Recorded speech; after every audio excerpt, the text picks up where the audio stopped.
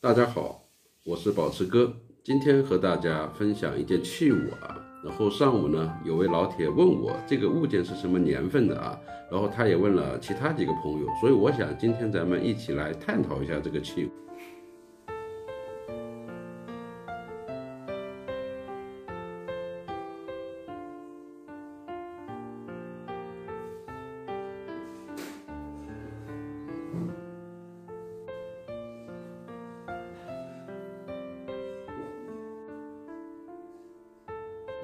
而其实这个器物呢，其实是非常简单的一个器物，但是由于古玩的一个特殊性啊，大家对它的有不同的认知，根据自己不同的这种经验，可能会得出不一样的结论。那么今天我来教大家怎么去看一个器物，把它的年份尽可能准确的、大概率的确定下来。这个就是这么一个茶碗啊，这么一个茶碗。我们看到这个茶碗的品种呢，是一个哎蓝釉。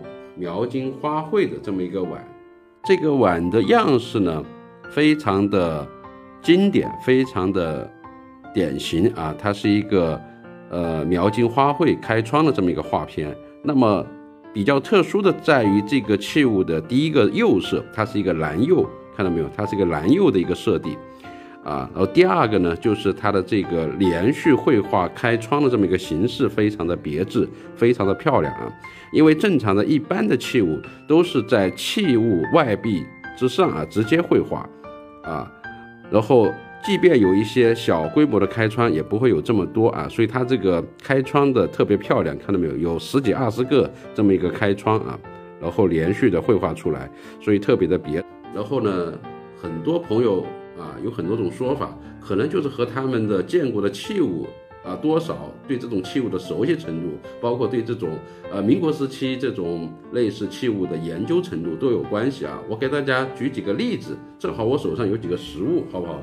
哎，这是一个盖碗，啊，也是非常典型的一个民国时期，大家看到没有？这种描金的花卉啊，如出一辙，这个都是同时代的一个非常典型的一个画片啊。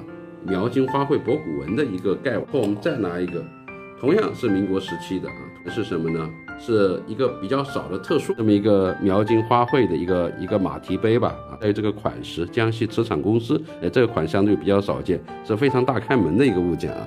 然后把这两个器物放里面给大家看一看，然后我们现在再看这个，啊，这是一个小罐子啊，小盖罐啊。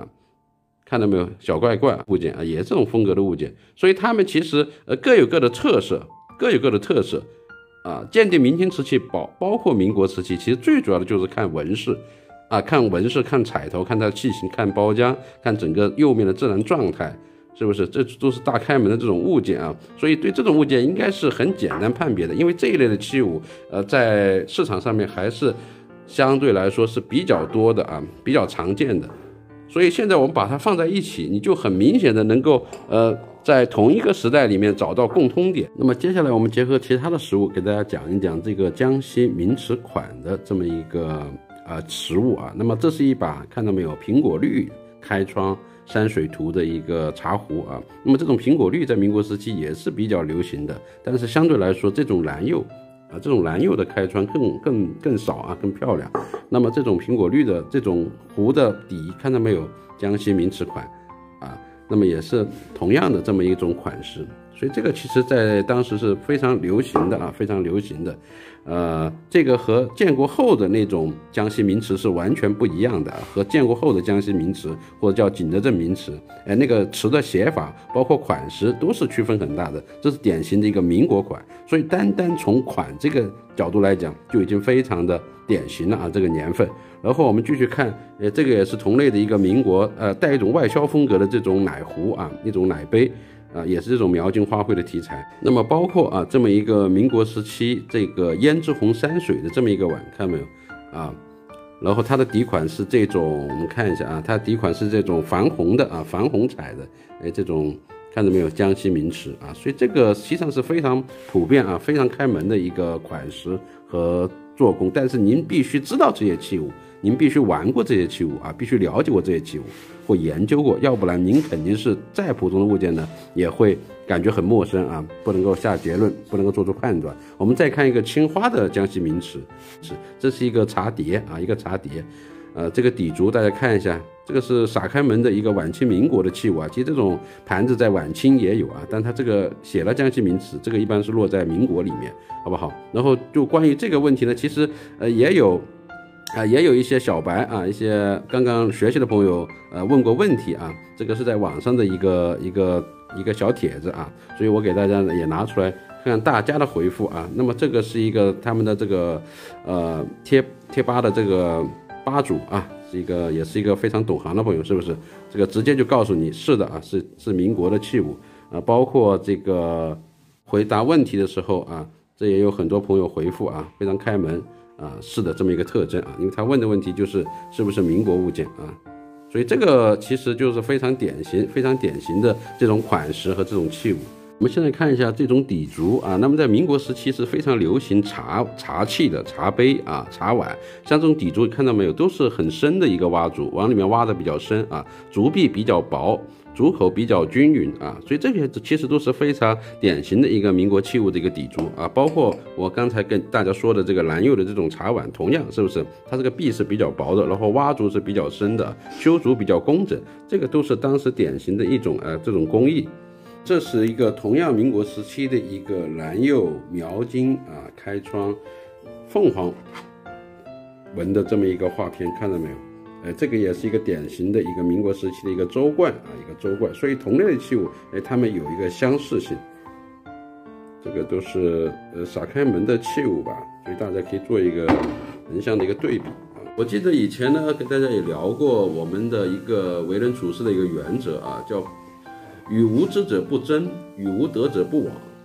就是如果说你对这个器物一方面你们不是很了解啊，然后我不和您争论，是不是？这个就是专业和非专业的这个差距，没有必要去争啊。第二个呢是与无德者不往，我觉得和无知者相比，无德者就更加让人不能去交往啊。然后其实很多朋友他未必不知道这种器物的这种年份。他其实很清楚，就我觉得，但凡玩过一两年老货的，在市场上面转过一两次的，应该都懂得这种物件啊，非常非常大开门的物件。但是还是有很多人他会很恶意的啊，去歪曲和误导别人，很可能会呃使你歪曲对于物件的真相啊，对于一个物品的一个理解，带你走上一条歪路。所以这个是很重要的，很致命的。说这么多呢，最后我们还是以那两句话来归纳啊。第一句是与无知者不争，与无德者不往。没有品德啊，没有这种职业操守和讲规矩的朋友呢，你也不用和他交往啊，这是很重要的一点。第二句呢，就是以词见史，以物见人啊。我们在瓷器上面能够看到历史，那么通过物件，我们也可以了解一个人啊。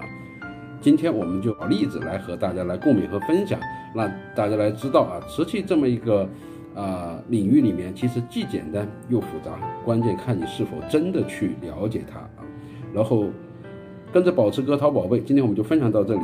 认同的朋友给我们点赞、关注、留言、评论，谢谢大家。